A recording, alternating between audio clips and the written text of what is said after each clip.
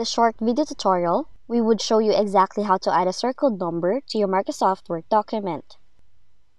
Now firstly, open the document you wish to edit, choose the location where you want to add a circled number, then click the Insert tab, click Symbol option, choose More Symbols, click the Font drop-down menu, select Wingdings,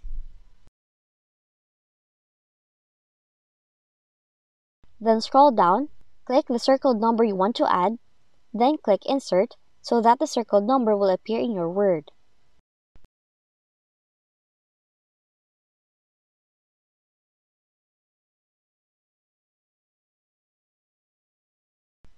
You can also choose to check Wingdings too for other styles of the enclosed number.